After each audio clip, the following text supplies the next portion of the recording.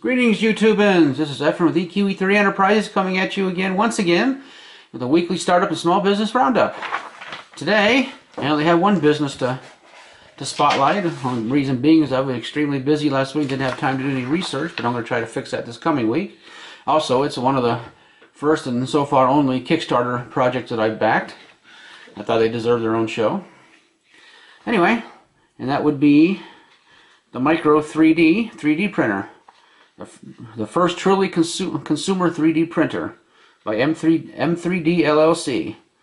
Uh, HTTP colon slash slash the micro the micro 3D.com. Uh, links will be in the description of this video. Uh, and, the, and the Kickstarter page is a little bit longer. It's uh, www.kickstarter.com slash projects slash M3D slash the dash micro dash the dash furly first dash truly dash consumer dash 3D dash printer. I'll put the link in the description as well. They say uh, the first truly consumer 3D printer should be incredibly intu intuitive, easy to own, and seamless by design. Sounds good to me. And they say it's the most most affordable 3D printer that can be used right out of the box, perfect for beginners and experts or experts alike. Just plug in the printer, download or create models, hit print, and watch your custom creations form right before your eyes. And that appeals to me. Only reason is because it's affordable. I can't. I mean, if I, I couldn't really justify thousand dollars for a 3D printer because I don't know if I'd be doing any serious 3D printing. But it'd be one of those fun technologies to play with, or it could come in. It could come into handy. You know, my business, I, the two businesses I have don't really require any 3D printing, but it'd be it'd be a good start. Maybe someday I can work up to a MakerBot or an Ultimaker. More expensive. This one looks like it's in retail for about $2.99. So that's what appeals to me, and it, it's small enough that I could put it on my desk because I don't have a whole lot of room in there right now. And the price, of course. The fact that you can use about any filament that's out there. That's another plus. It says uh, a fantastic 3D printing experience is from their website. We built the micro with reliability, consistency, and accessibility in mind. Micro motion technology is a sensor and feedback system built into the, in the, into the print head, providing auto leveling and auto calibration. This means that every time you run the printer, it works, even after thousands of hours of use. Micro is not only a useful tool, it makes 3D printing an enjoyable experience for the everyday person, and a lot of fun too, I can imagine. You can use either PLA or ABS filament as well as their microfilament that they're making themselves. Spool, their microfilament spools or standard 1.7 millimeter filament spools available on the market. It gives you a lot of choices. It says the microfilament spools are fed from the inside of the from inside the printer. Alternatively, you can use an external filament access port located on top of the extruder. so, and the software that comes with this is a 3D design software. You can design your own 3D objects or you can download them. There's a couple of sites that people use. I'll have to look them up and I'll put them in the links so you can check them out. It says it allows you to search and browse countless objects online, organizing 3D models you've downloaded into an easy to view library. Just pick a model, drag it into the printer, adjust the model if need needed, and hit print. Software should not be, the be a barrier to 3D printing, and I agree with that. It's our goal to make the micro accessible to everyday users. And there's expert settings too if you happen to be, you know, such as open source slicers. So, so if you're a veteran 3D printer and you have this, you're good to go. Okay, comes in five colors initially. They might add more colors later. I don't know, but the first five colors are oops, blue, green, black, silver, and orange. So, very good. I mean, if you want to color code it to your desk or your computer or whatever, I guess you can do that. So, oops, something here. The text specs, I'll read a few of them. Dimensions, it's basically a cube. It's 7.3 inches per side, so it's pretty small, and roughly 2.2 pounds. It says it can, can also be used with any Windows, Mac, or Linux-based system. That's cool.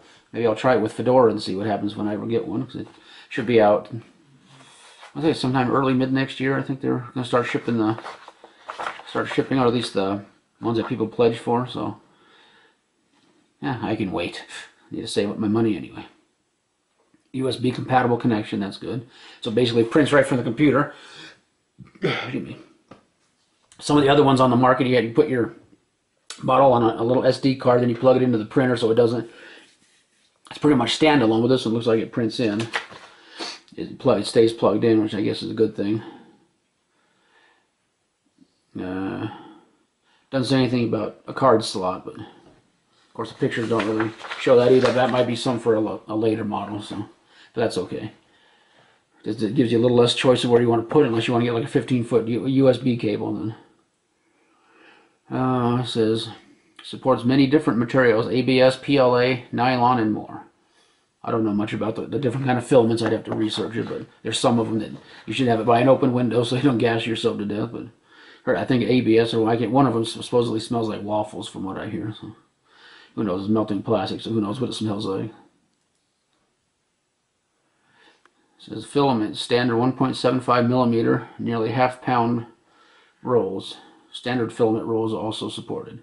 Removable print bed, 50 350 micron layer resolution, 15 micro X and Y position accuracy. The print head, print height, 116, you know, 4.6 inches, and the base areas.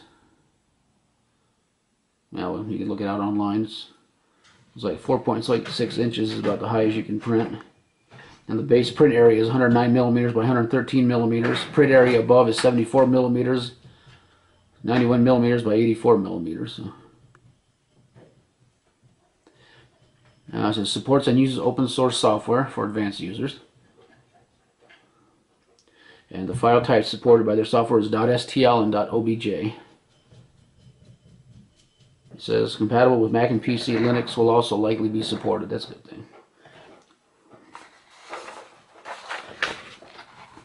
And they have a list of 15 innovations. It says M3D has introduced many innovations in the field of filament-based 3D printing with the, with the introduction of the micro. The most space-efficient 3D printer ever made. Lightweight, portable design fits nicely on your desk. I like that.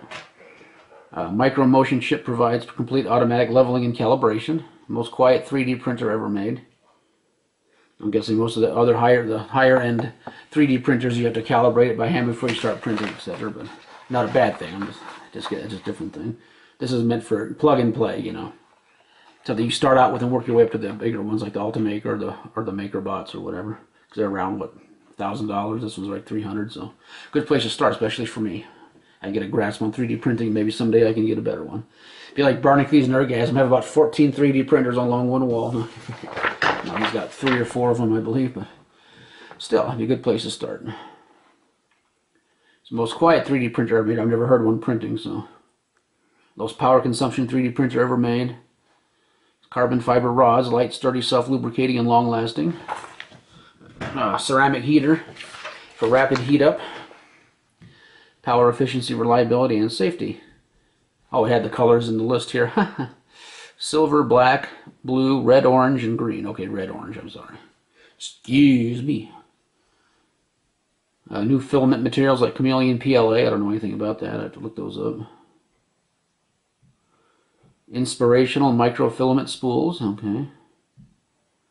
Modernized touch-capable software. That'd be cool if you had a touch screen. But, uh, something else interesting, there's a, an armband controller called a Myo. I wonder if you could use that to, to, to mess with your 3D models in space. That'd be cool. I did a review on that on this page somewhere too. The, not the last show, but the show before. No, this last show. I don't, I don't remember. It's in one of the two, two previous shows of the Myo armband controller. You can move. Supposed to be good for 3D modeling. You might be able to work with and use that for your 3D models for your printer. Maybe. Uh, replace, replaceable print head, replaceable print beds for alternative materials. Oh, that's good. I guess you had to use different beds for different materials. I'm guessing. Replaceable nozzles for experimenters. That's also good. Designed for fast assembly in the U.S. for quality control. An ABS-based print bed allows you to print larger ABS parts. So you can make something big, you have to print as separate parts like Barnacules did. He printed the Master Chief helmet. I don't know how many pieces, but it was tons of pieces. A friend of his is finishing it for him. So, uh, says the micro was designed for assembly and production in the USA. We will use a combination of imported and domestic components to assemble all the printers near our Bethesda, Maryland location.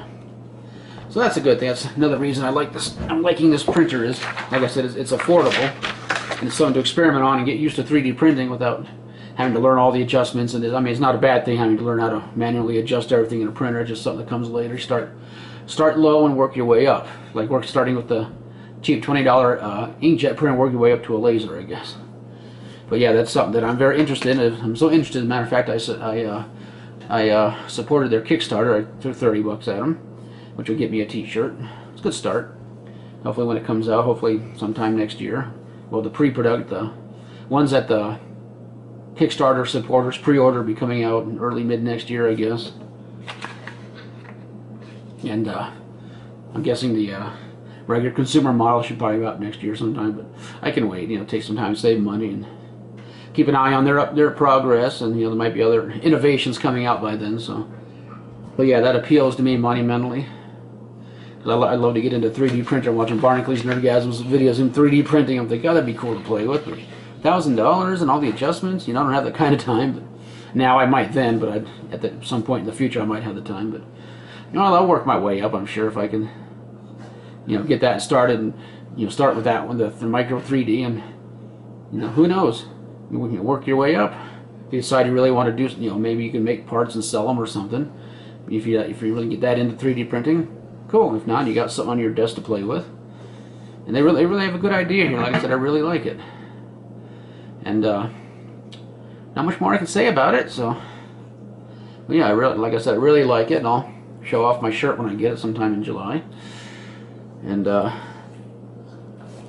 that's about it. not much more I can say about it. You can't read on their website, which the links will be in this video.